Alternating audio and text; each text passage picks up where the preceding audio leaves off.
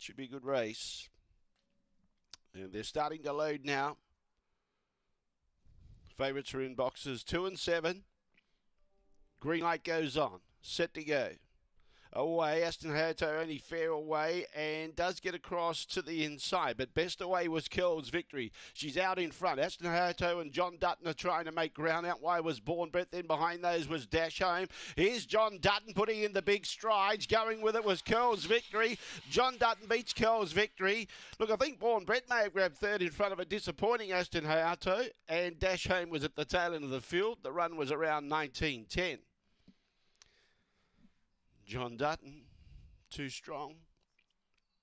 Curl's victory began the best. She made her way to the middle where she was comfortable, but John Dutton got into a slipstream and then got alongside of her and surged to take the lead with about 100 to go and withstood the fight back from Curl's victory.